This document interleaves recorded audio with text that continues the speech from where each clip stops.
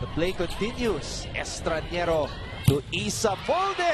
One-on-one is single block by Jeanette Villareal. And everything really going good for FEU, whether it be services, their attacks, even their blocks. A lot of single blocks.